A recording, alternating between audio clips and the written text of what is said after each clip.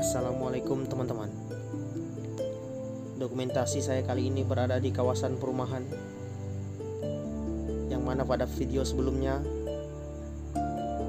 Kawasan perumahan ini berdekatan dengan kegiatan tambang batu bara.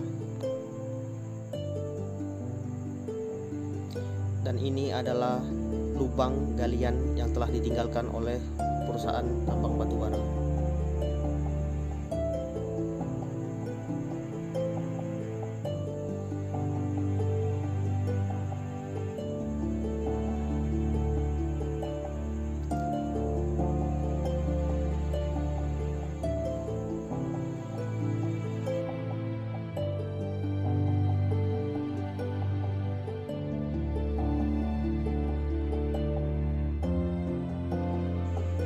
Lalu, yang menjadi pertanyaan kita adalah siapakah yang bertanggung jawab terhadap lubang tambang ini?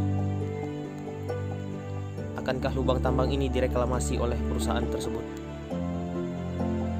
Akankah pemerintah daerah Provinsi Kalimantan Utara memberikan sanksi apabila tidak direklamasi oleh perusahaan tambang?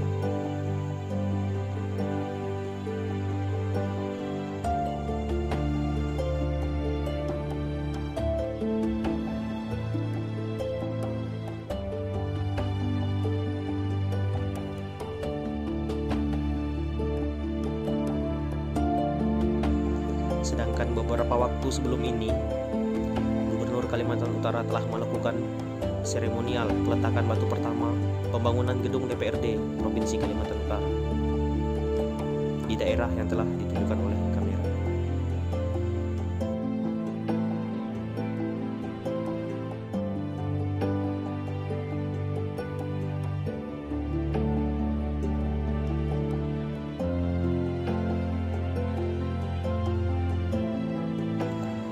Berkaca dari kejadian-kejadian sebelumnya di Provinsi Kalimantan Timur, yang mana lubang-lubang tambang seperti ini sudah mengakibatkan banyak korban jiwa, anak-anak yang bermain, dan ibu-ibu yang melintasi lubang tambang ini.